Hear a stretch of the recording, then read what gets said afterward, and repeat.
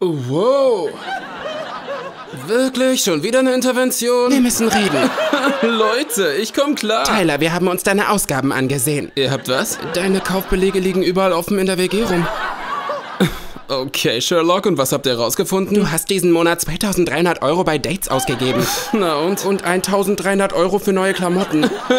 Wenn du so weitermachst, ist das dein finanzieller Ruin. Ihr habt ja recht. Und es sind 1345 Euro für Klamotten.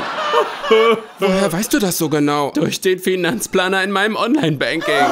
Oh mein Gott. Nutzt den Finanzplaner und schafft trotzdem nicht den Absprung. Wir brauchen ein härteres Mittel. Bitte nicht. Ein Termin beim Sparkassenberater.